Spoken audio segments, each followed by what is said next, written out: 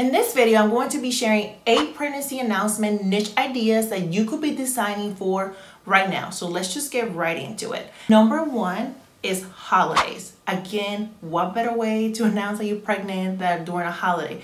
And if you're thinking like major holidays, like of course Valentine's is coming up, St. Patrick, uh, Christmas, Halloween, think about smaller ones events, awareness. Pretty much get you a calendar, list all the major holidays. If you don't know, go and Google them. But think about all the different types of like events that happen throughout the year, awareness that happen throughout the year that somebody might want to use that to announce that they're pregnant. The second one is a funny pregnancy announcement. Guys, if you're not clever, if you're like, I don't even know how to be funny, you can go on Google and search like funny pregnancy announcement ideas, sayings, puns, anything like that will be helpful. Also, you can go on Etsy, you can go on other like retailers and just search for how people are announcing that they're pregnant. Sometimes even Pinterest, if you go and search pregnancy announcements, Pinterest have so many clever ideas and for some reason funny sayings do really well when it comes to announcing that you're pregnant. The third idea is making it specific to like a family member.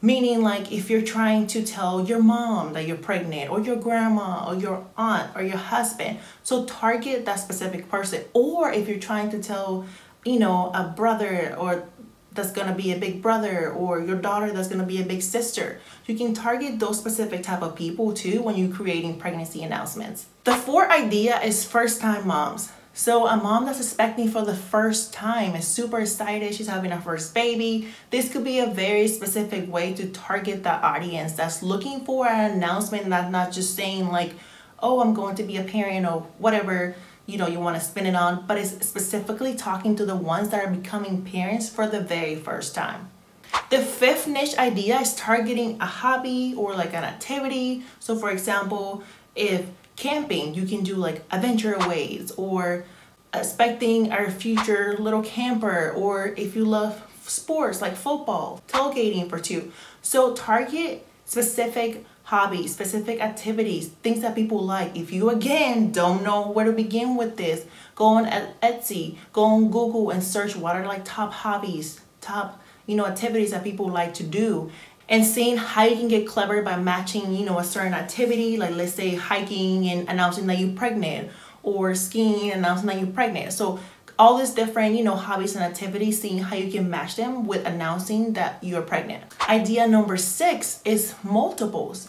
I'm a twin mom. It's a lot different expecting one, let alone two, three, four babies at a time. So this could be a really specific way to target the mom to be that's expecting multiples. So you can get really clever with this one. There's so many like twin puns and sayings and phrases that you can come up with to target the expecting mom of multiples. Number seven is food. And hear me out, you're probably thinking like, how does food goes with being pregnant? Again, when you're pregnant, food plays a big role.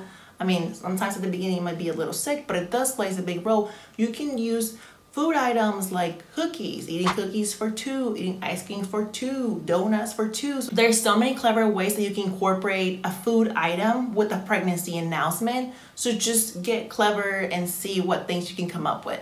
Number eight is targeting the different seasons. But I mean seasons, I mean like summer, fall, spring, winter. So you can say, you know, sun's out, bums out, summer and bumping or fall leaves and bumps. I mean, these are just ideas that I just came up with in my head.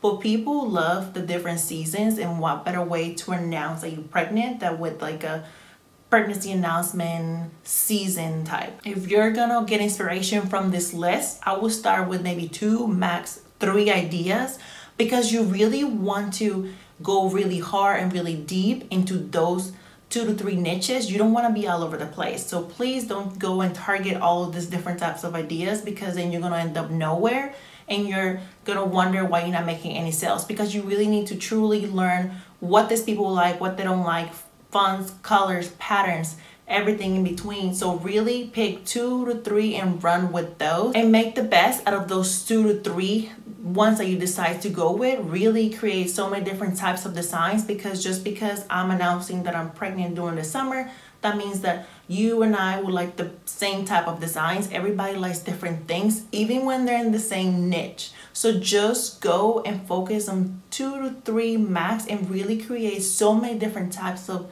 designs variation that this target audience will like. And guys, if you're looking for more niche ideas, then I'm going to be linking this video next because on that video, I talk about a very specific niche, which is the occupational niche. And I give you so many different types of niches, of some niches that you could be designing for in that niche. See you on the next one.